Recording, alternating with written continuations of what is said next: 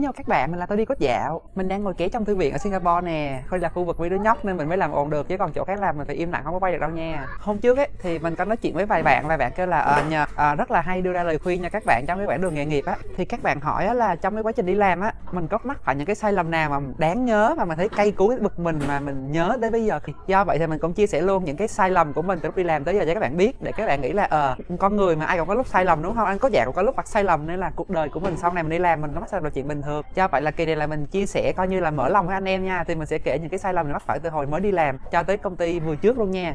Thì nói thật đó là sai lầm của mình là cũng nhiều lắm nên là cái này cũng sẽ khá là dài nha. Thì đầu tiên đó là cái sai lầm lúc mà mình điêu lương lúc mà mới đi làm f thì hồi đó là mình mới ra trường à xong rồi là bỗng dưng là đang nằm nghỉ thì f shop gọi điện gọi mình đi phỏng vấn thì mình phỏng vấn một vòng đầu thì cũng ok. Xong rồi họ hỏi là em muốn lương bao nhiêu? À, mình thì không biết mình kêu là dạ, em muốn lương khoảng sáu bảy triệu gì đó. Cuối cùng họ cho 7 triệu hai luôn thì cũng tạm tạm. Nhưng mà sau này mình coi lại thì mức đó cũng không phải là khá cao so với lại mặt bằng chung của developer với lại là mình thấy khả năng mình cũng ok. À, xong rồi là mình phải làm ở F gần 8 tháng gì đó với cái mức lương sáu bảy triệu rồi mình nhảy qua Asquith thì mình được lương cao hơn. Đó thì sai lầm đầu tiên đó là các bạn khi mà điêu lương các bạn nên biết là mình khả năng tới mức nào và là mức lương xung quanh trung bình được công ty như thế nào mức lương trung bình cho bị giá như thế nào để mình điêu cho hợp lý. Chứ đừng có nói đại một con số nha sau này sẽ hối hận tại vì lỡ điêu thấp quá. Tại vì á các bạn điêu lương á vị trí đầu tiên khi các bạn nhảy á thì nó sẽ dựa theo lương hồi trước của bạn. Do vậy là cái mức lương đầu tiên khi điêu khá là quan trọng nha cái sai lầm thứ hai là một cái sai lầm khác khá là buồn cười đó là hồi mình đi là ở bên Asquith thì mình sắp nghỉ. Thì hồi đó là tháng 6, tháng 7 là công ty sẽ có dạng như là performance review để tăng lương. Còn mình thì là cỡ tháng 9 là mình nghỉ mình đi mình đi tiêu học rồi nên là mình báo trước cho anh cho anh leader từ tháng 4 tháng 5 đó là dạ em là có tháng 8 tháng 9 tháng nghỉ á. Nên là anh cứ sắp xếp để cho anh tìm người. Cuối cùng sang với lúc performance review á thì mình tăng không đồng. Trong khi mọi người khác thì được tăng cỡ 20 phần trăm 25 phần trăm, có khi được 30 phần trăm luôn. Chứ mọi người tăng không đồng. Sau rồi lý do là tại vì á là mình sắp nghỉ nên là cái mức đó là có hạn. Mặc dù performance rất tốt nhưng muốn nói là mức lương tăng là có hạn cho toàn bộ team cho công ty. Nên là phải ưu tiên tăng những bạn ở lại. Trong khi thật ra nếu mà mình theo đúng hạn mình có thể báo trước. Vào tháng 7 tháng 8 thì mình vẫn được tăng lương mình vẫn có lương bình thường. Đó nên các bạn nghĩ cho người khác là tốt nhưng mà cái nghĩ là nghĩ từ mức mình nữa. Khi mà trong mắt các công ty các sếp khi nhân viên sắp nghỉ thì nó chỉ là người ngoài thôi. Nên nó là tăng nó thì không không quan trọng là sắp nghỉ rồi. Nên các bạn nhớ lưu ý nha nếu mà có công việc ngon hơn có chỗ làm tốt hơn á thì cứ báo đúng vào cái lúc mà mình hạn. Hợp đồng đi báo trước 30 ngày báo trước 30 ngày hợp đồng đi trước một, một tuần báo trước một tuần. Báo trước sớm thì cũng được nhưng mà nhớ coi chừng ví dụ các bạn báo trước một tháng á, thì họ hai ba tuần họ đuổi bạn cũng có thể nếu họ tìm được người. Nhớ nha phải đặt mình lên trên trước tiếp theo á là một cái sai lầm cũng khá là buồn cười hồi thứ ba mình đi làm lúc mà mình làm ở, ở bên uh, Lancaster ấy lúc đó là mình có đi qua Trung Quốc học nên là mình làm qua mạng hôm đó là sếp thì sắp đi vắng 2 tuần. Trước đó thì tụi mình họp lấy đi quay mình thì mình nghe sếp yêu có yêu cầu là làm một cái dạng như là lấy địa điểm từ Eventbrite chẳng hạn cho admin search. Thì sau đó sếp đi chơi 2 tuần thì mình cứ cắm mặt vào làm thôi. Sau rồi lúc mà tới lúc sếp về á thì sau khi coi cái UI với lại cái ứng dụng mà làm hai tuần thì sếp cái này thật ra là sai ý sếp rồi, tại vì cái requirement viết nó không có đúng. Lẽ ra là cái việc lấy địa điểm từ Eventbrite là phải lấy và tự lưu vào database luôn, không cần admin. Và tự lọc luôn, admin chỉ có check duyệt thôi. Thay vì admin phải ngồi click từng cái để lưu về. Đó, coi như là mình mất gần hai tuần code mà cuối cùng là coi như phải đập bỏ hơn một nửa để làm cho đúng ý sếp. Thì do rút ra là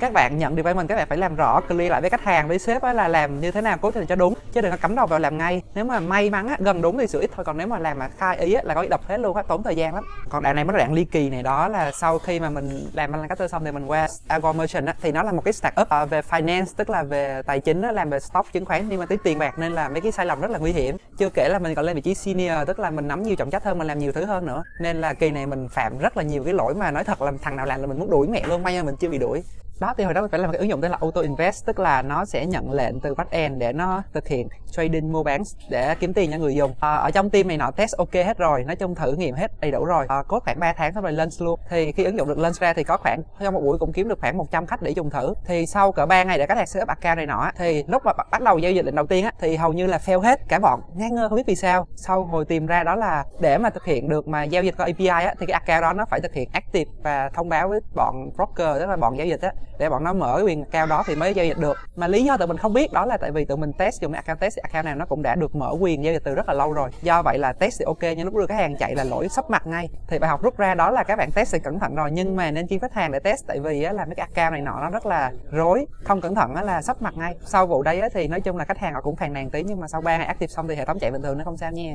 Một cái lỗi sai lầm sắp mặt thứ hai đó là cái hệ thống một cái logic đó là vào cuối ngày á có vài cái khách nào đó mà có vấn đề gì đó họ không có bán hết stock á, thì mình phải bán cái stock loại đó cho người ta thì mình dùng một cái thư viện nó hẹn giờ là 4 giờ chiều á thì nó sẽ à, bán stock đó. Nhưng mà không hiểu sao mọi người chạy ok có một ông khách ổng bị gì đó mà ổng bán gấp đôi tức là vì ổng mua 100 stock đúng không? Ổng bán 100 là ổng hết nhưng ổng lại bán tận 200 stock. Thì nghĩa là ổng đang uh, sọt 100 stock. Thì hệ thống nó, nó báo vậy mình rất là ngạc nhiên ủa ông này bị quá gì vậy? Sau một hồi tụi mình phải vào để mua lại stock để cho cái số dư về không ngay. Thì sau một hồi phát hiện ra đó là cái thư viện nó bị lỗi đó là có thể lâu lâu xui xui thì nó sẽ gọi cái hàm đó hai lần. Đó và mình tìm thì mới thấy cái lỗi đó. Cái xui là cái lỗi đó thì rất hiếm khi bị. Lúc test cũng không bị nhưng mà xui thì nó sẽ bị. Thì cuối cùng là mình phải dùng thư viện khác và mình phải thêm một vài cái lớp uh, check đồ nữa. Bài học rút ra kỳ này đó là các bạn dùng thư viện thì cũng đừng nên tin tưởng quá tại vì tin tưởng là sml ngay còn một cái lỗi gây cấn hơn đó là một hôm kia thì mình tụi mình update lên phiên bản update phiên bản Chrome của ứng dụng lên tụi nó xài Electron. Thì mình đang update xong xuôi chạy ok test ok rồi.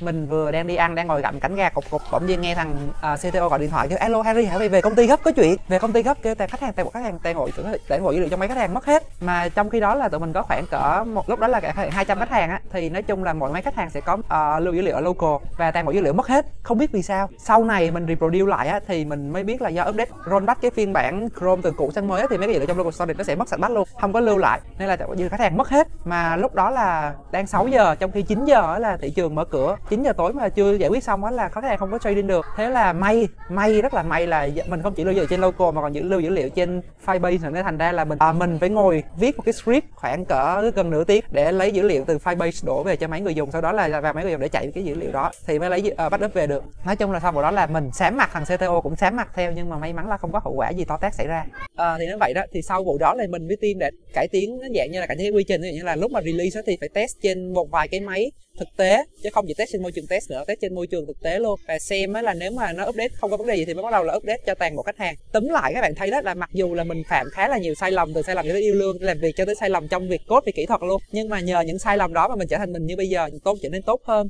mình biết cách điêu lương như thế nào mình biết cách đối xử với công ty ra sao mình biết cách để không phải vào những cái lỗi lầm đó khi cốt nữa. Mình biết cách để cho thì lúc mà mình release sản phẩm á, thì người dùng có thể không gặp bất hoặc là gặp bất ít hơn. Đó các bạn làm các bạn có phát phải sai lầm ví dụ có gặp bất chết người sụp hệ thống hoặc là các bạn có điêu lương thấp quá đây là cũng không đừng có lo nghĩ nhiều. Ai cũng có sai lầm cả và mỗi sai lầm là một cơ hội để cho tụi mình học hỏi thêm để tụi mình phát triển tiến bộ hơn thôi và còn có một lời khuyên nho nhỏ nữa là các bạn hãy kiếm những cái công ty mà họ dạng như là thoải mái mở rộng á, họ open những cái sai lầm, ví dụ công ty mình nè, mình có phạm sai lầm nhiều cũng không sao cả, mỗi lần có vấn đề gì là cả team sẽ nhau giải quyết, thay vì là ngồi chỉ trỏ là do thằng Harry, do thằng này, do thằng kia làm. Đó, các bạn tìm những công ty như vậy, các bạn sẽ thoải mái phạm sai lầm hơn và các bạn sẽ không có lo lắng cái việc mình gây ra, làm có thể hậu quả gì nữa đó túm cái váy lại thì mình chỉ chia sẻ vậy thôi nha. Các bạn có thấy mình phạm sai lầm nhiều quá mà chuyển qua hết thần tượng anh cốt dạng rồi em sụp đổ hình tượng rồi em chỉ thần tượng anh khác? Nếu có thì nhớ comment nha. Còn nếu mà sau khi nghe mình kể vậy mà vẫn uh, thần tượng anh cốt dạng vẫn muốn mình kể thêm mấy cái chuyện ở trên đi làm thì cứ comment dưới để mình biết luôn nha. Đó video tới đây kia là hết rồi. Bye bye mọi người. Hẹn gặp lại 13 thứ ba hoặc thứ sáu thứ sáu nha. Các bạn nhấn like subscribe cho mình nha. Góc dưới đây nè hoặc là góc trên này kìa nha.